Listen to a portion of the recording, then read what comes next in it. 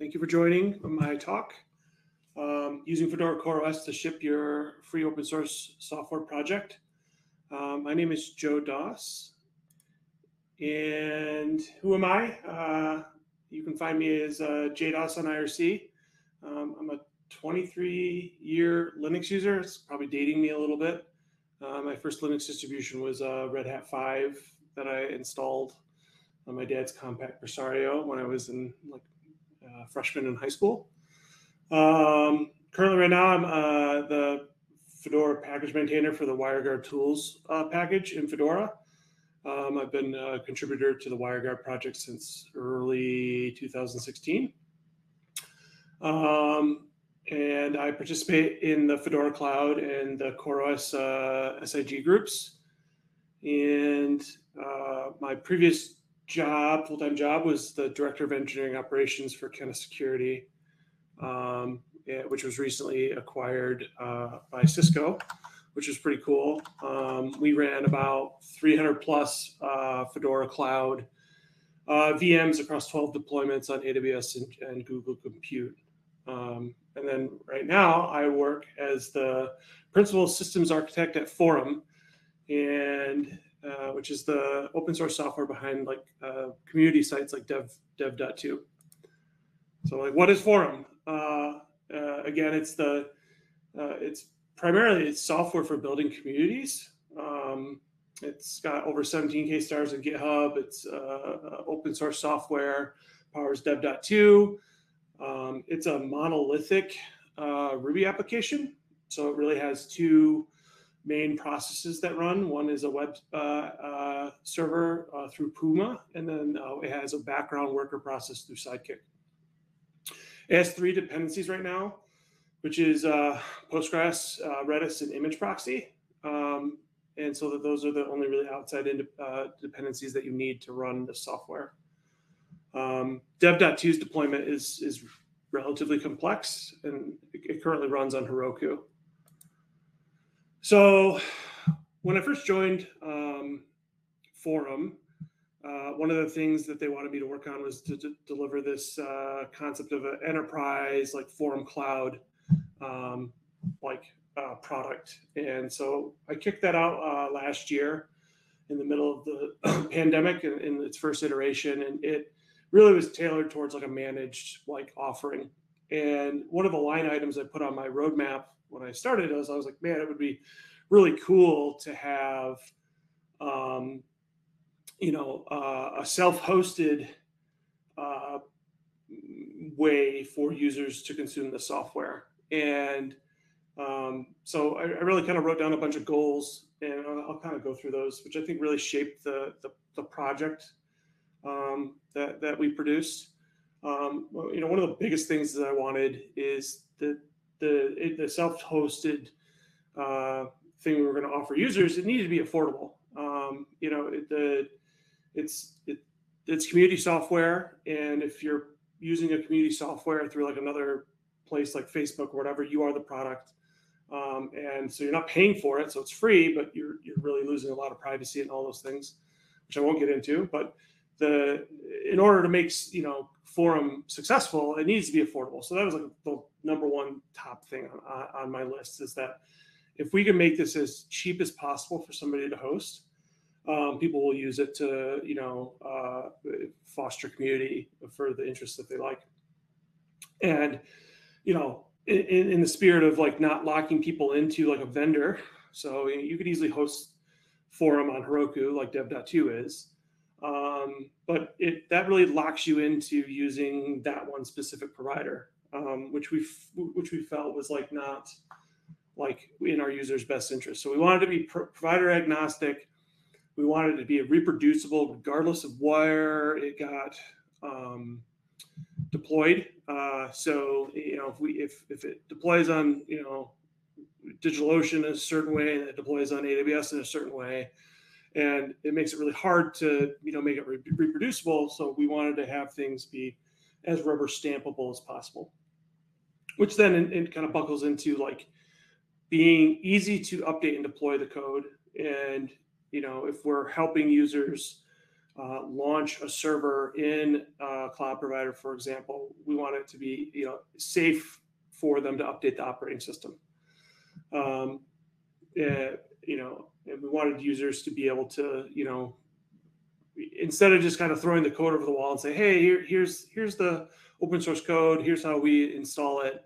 Good luck. We wanted to, you know, kind of foster, hey, this is the this is these are the steps that you take to, you know, keep yourself up to date and keep the Forem code up to date because we all know uh, one of the most successful uh, free open source software that's deployed on the internet is WordPress. That also, you know, is one of the most largely exploited uh, uh, uh, pieces of software on the internet. So we want to we want to foster this like idea that hey, it's easy to deploy, it's easy to update, it's easy to update the operating system that we're say recommending that you use um, to keep people safe. Uh, we wanted to use like modern tooling, but not enterprise tooling. So you know a lot of the you know I've fielded questions uh, from some of our users where they're like, well, why are we doing Kubernetes? And well, Kubernetes is great. I think it has a lot of applications and it's it's good software, uh, but it really isn't affordable uh, in a lot of ways. In order to, if you want to, you know, use it in, in like a managed provider like DigitalOcean, AWS, or Google Google Compute, you know, it does have additional costs for using Kubernetes, um, and it also kind of locks you into their way of doing Kubernetes in a lot of ways. Um, I know you can move uh, you know, most vanilla Kubernetes can go wherever.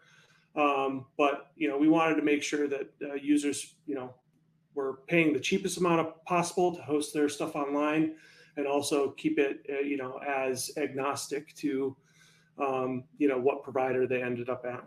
Um, so, uh, selfishly, you know, uh, you know, uh, my day job allows me to work on uh, the self-hosted repository uh, which is great. But I want to. I'm, I'm, a lazy engineer, so like I really want to use stuff from you know the enterprise stuff that we develop in the enterprise, or even vice versa. If, if you know we say, hey, this is a cool thing for the self host, maybe we can incorporate it into our like enterprise software um, to allow individuals to um, you know reap the benefits of both worlds so you know lazily that was one of the goals is like you know how can i how can i leverage the, the, the stuff between the two projects.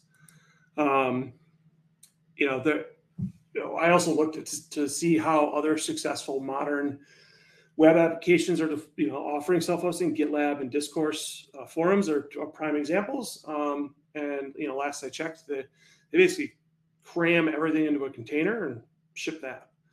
Um, I personally think that that's a little it's not the i mean obviously people are using it and it's successful but i, I felt we could do better we could uh, give people a lot more options to how they how they host self-host Forem um, what type of self you know you know maybe they wanted to have a different version of redis or a different version of postgres or something and they changing that is relatively easy with uh, the self-host repo and using fedora CoreOS. Um, so really, the, the, I guess the TLDR is you know more than just a code. It, we wanted to give people the automation um, and the the ability to actually deploy something in a self-hosted way on their own infrastructure with uh, some guidance to get them out the door. So that really shaped the the project of the self-hosted repo. And uh, we already have been using Fedora Core CoreOS in the Forem Cloud um, uh, product that we have. Um, and so it kind of made sense to, to figure out how we could use that in an open source way. So why Fedora CoreOS? Well, there's a lot of talks, and I'm not going to really get into too many things, but I'm going to highlight the things that were important to us. Um, you know, and as you can see, my uh, uh, slides are a little incomplete. Um, you know, it, we wanted an immutable uh, operating system, but we're going to say, hey, to our users, hey, go install this this operating system let's give them a very reduced footprint and something that they can't really muck up too much, right? Um, which then offers some security benefits, or as as, as I would say, as best you can be secure. Um, you know, no operating system that you put on the internet is going to be like 100% bulletproof. But I feel that Fedora CoreOS has a lot of advantages. Got SELinux enabled by default. It's immutable. It has Um, a lot of good things that are are going for it that really are conducive to, to hosting a web application securely. Um, we want it to be like container centric. Um, you know, we ship all of our software in containers for Forem. Um, we feel that, that shipping software in, in a container is, is, a, is a pretty darn good idea. Um, it makes it easy to update and roll back, um, which there's features in the self-hosted repo that allow you to kind of like, you know, if you update your, your Forem software and it doesn't really work, you can roll back really quickly to the last container release, which is pretty cool.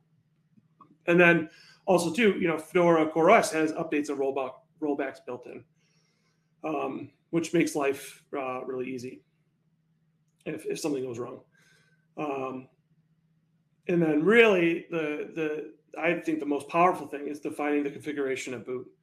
Um, using butane and ignition, uh, you're able to, to, to get away from the well. I put a server online, then I configure it. It's we define the server as code. You know, YAML, everyone's favorite uh, uh, configuration as code, or you know, infrastructure as code, and um, you know you're able to configure that at boot and you know if it doesn't work if, if something is wrong in the in, in your ignition it, the server won't boot and thus you can say okay well i'm able to launch something that is as exactly as what as what i want when i turn it on so that's probably the most powerful thing uh, in fedora CoreOS that uh, i think we really really leverage we kind of abuse it uh, in a lot of ways we use it uh, all over the place uh, in our systems engineering team and of course, it has like modern systems tooling. Systemd and Podman, I think, are fantastic.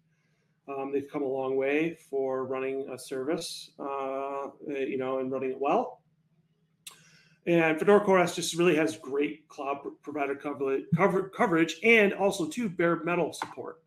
So, you know, really, I, I want individuals to be able to install, take our Forem, uh, you know, ignition configuration and if they want to boot it off their server in their basement, they can. it, it is totally doable.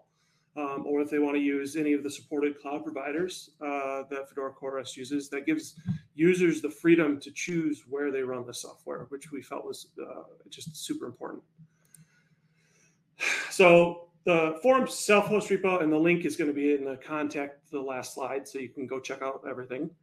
Um, we developed two Ansible roles, which I think I'm, I'm going to kind of briefly talk about. One is the FCOS Ansible role.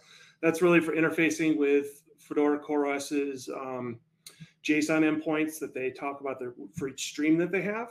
So you're able to, you know, uh, basically get information off of Fedora CoreOS's uh, main site, you know, find out what the most current version is, and, and depending, depending on what cloud provider you're using, you know, you know launch uh, like an AWS AMI or the, the images on, on Google Cloud, or pull down the or have DigitalOcean pull down the image because they don't have uh, direct support. Cough DigitalOcean, if you're listening, please work with us so we can get uh, DigitalOcean support, um, like like true uh, uh, Fedora CoreOS support on DigitalOcean. That would be fantastic. Um, we also have a Q, Q, QEMU playbook. So a lot of when you're developing and working with Fedora CoreOS, I think one of the biggest challenges is, well, how do I how do I create my my butane configuration? How do I how do I provide this this uh, you know configuration on boot without having to go through like a, painful development life, life cycle? Well, we have a method in in in our repo where you can launch if you're on Linux. I run uh, Fedora Workstation um, where it will fast boot a QEMU uh, Fedora CoreOS. So you can iterate really quickly and playing around with like how your server boots and whatever application you choose to use Fedora CoreOS with, you can quickly get it, you know, iterate on that. I feel that that is a, a really good um, developer, uh, you know, centric, uh, nice thing to have. Um, so really the um, and then we, at the core, we have basically a Ansible Jinja 2 template that we, um, you know, basically rubber stamp down based on input from you, the user, on what your forum would look like. And there's really only a handful of things that you would want to change, primarily the, domain name, the email address. You set some secrets, um, and I'll get into that. But we also add in some some nice things Um, system systemd oomd and swap on ZRAM are really uh, awesome to have uh, in like a, a, hosted in you know in a uh, server environment where you're you know using a web application as your primary like software running on there. Those things make make life a little bit more stable. We actually saw some really good benefits. That There's a GitHub issue where we graphed the change and the benefits of running systemd oomd and swap on ZRAM. Um, because we like to um, manipulate servers with Ansible, not necessarily configure them, but maybe like do systems administration tasks or DevOps tasks. We bolt Python 3 in, into our image, uh, which is kind of a kludgy way to do it, but it works. It gives you the ability to run Ansible on Fedora CoreOS because uh, Fedora CoreOS doesn't ship any type of like you know Python or Ruby or anything, so you're not able to like you know leverage something like Ansible to get get the job done. So that's the repo in a nutshell. The link will be at the bottom of the talk. Uh, definitely check us out. Uh, give it a spin. Um, really, what the repo I hope in the terms of this talk is that you could look at it and be like, hey, I don't want to run Forem, but I want to run something else, and I want to use the things that you see in here to make your life easier. Um, particularly the Fedora CoreOS uh, and Butane roles are a, a, pretty good way to manip- like launch Fedora CoreOS uh, infrastructure uh, quickly with Ansible. So check those out. Um, I, I, like them a lot. I use them for my personal stuff too. So really, Ansible is just a rubber stamp. Uh, it wasn't really chosen for, you know, to be like an infrastructure as code. It doesn't we don't really keep state. Like we, we, we actually use Terraform in our enterprise, uh, our Forem Cloud offering. Um, but uh, you know, I should really shouldn't say enterprise, I should say more managed, our managed Forem cloud offering. Um, but you know, for this for this this talk and for the self-host repo, we really just kind of use it as a, a method to fill out the Jinja 2 template for butane. And there's things that are the same that will always be the same for um, 99% of all forums that get launched with this. They go, in, uh, if you know Ansible, they go in all bars. Then you can create your inventory based off of that and you know set the things that really matter like my domain name is forum.wtf and i give it a subdomain of community and um, set my email address and then further down if you look at the repo you set the um, uh, secrets and stuff like that and via ansible vault so you can keep them secure it, it really is just a rubber stamp you could drive um, most of this other ways if you wanted uh, but we use Ansible. We found it pretty cool to, and pretty easy to use. The gem of Fedora CoreOS, I feel, is butane and ignition. Uh, at the top, you have like the human readable YAML. Um, this is actually a, a, a, a the actual file uh, that was produced by the self-hosted repo. Um, where, like, for example, if you look at the template, like the SSH key is a variable, so it gets filled in with your SSH key versus my versus my uh, open source one that I use. And then at the bottom is like the the JSON equivalent of which is the ignition configuration that gets booted by Fedora CoreOS. It's super great. Um, I, I really feel that if more people saw how powerful butane and ignition are, um, they'll be hooked on using it for their infrastructure. Um, it, it is really a, a, a, it's a gem in my professional life right now. Um, D and Podman, uh, as as one of my old coworkers used to phrase everything that was okay. It's a not terrible way uh, to run services. I, you know, I, there's a lot of opinionated ways to run services on Linux. Um, I I really feel that systemd and Podman have come a long way, especially over the last year. The Podman team has been uh, extremely responsive to. I had a couple GitHub issues on their on their repo on trying to run, uh, uh, you know, basically Forem containers via systemd. Um, and probably the most beneficial thing of using systemd with Podman is you get the uh, the wants in the before directives at the top of the unit file. Um, I think you can see my mouse here. Basically, these ensure that you can have the services that your application needs that they're running and that they start in a certain order. Um, you know, we had some users being like, "Well, why don't you just use uh, Docker Compose to launch all these things on on on a, on a Linux server?" Which is totally doable. You totally could do that. Um, well, Docker Compose doesn't have any concept of like order of operation that, you know, like it, sometimes you have to wait for things to come online. Um, and if you look at in, in our main Forem uh, repository for the actual code, we have a, a, Docker Compose file that actually uses like a bunch of things to kind of wait for services to come online. So this is a much more robust and, you know, we get to have better control over when things boot and like there's certain things like where like for example the Forem rails container has to share a volume with openresty so it can it can serve uh, like css and and, and uh, uh, javascript. Well if you just restart one versus the other you can lose you can lose kind of sync of who has access to what volume.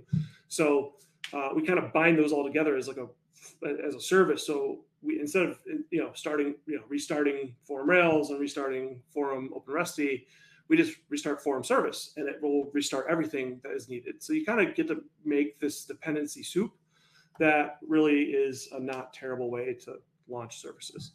Um, and i will note that like so even if we're you know we're using fedora CoreOS here you could take these unit files out of the template. And i think one of the things on my on my late roadmap, maybe next year, would be to make an RPM that would just install these unit files instead of having you could just install Forem with these unit files versus having to like um, you know launch a whole server uh, you know just for specifically for Forem to, to be online. So um, yeah, that's like systemd and Podman. I think are, are, are pretty great in a lot of ways. Um, so we had so we launched this this repo out to the world. Uh, it it got some decent. Uh, it, its reception was pretty pretty great. I was actually not terrified that it would be a flop, but like it actually got some attention. And one of these individuals, uh, Death by Paper Cut, uh, good old Death by Paper Cut. Uh, he he replied back to a, a Twitter post on our main Forem account, and I really this really resonated with me. It's like over the next five years, we're going to see who are going to be full of amazing self-hosted solutions with all sorts of things. Pretty excited to see this. And I am too.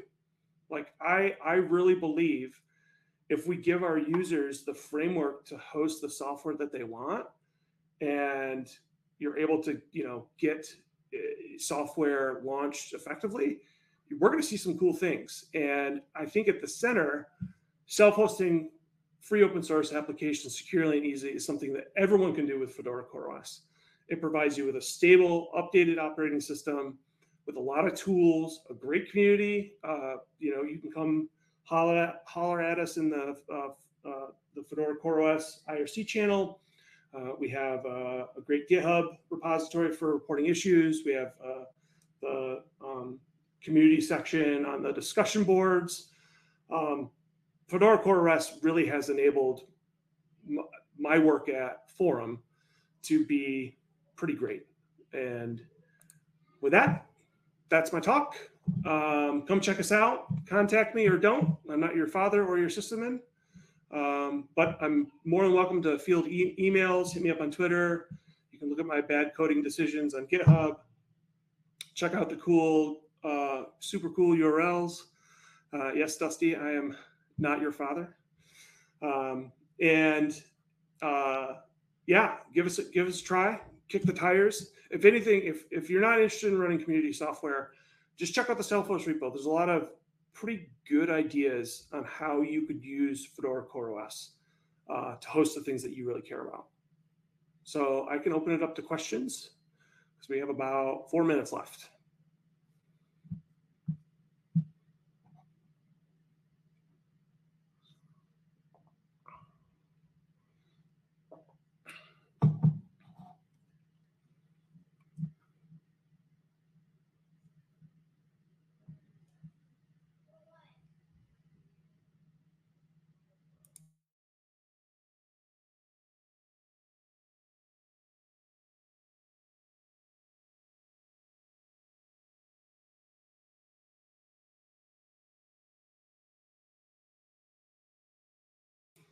Yeah, I wish my uh, data center racks looked that cool.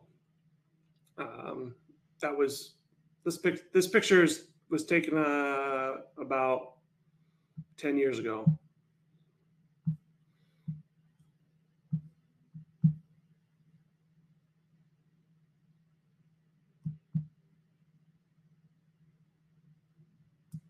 Well, I am glad everyone liked it.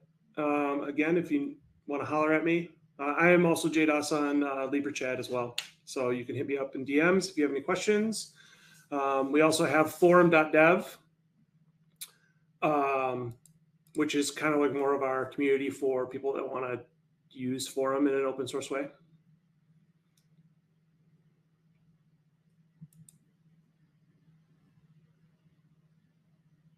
Thank you much.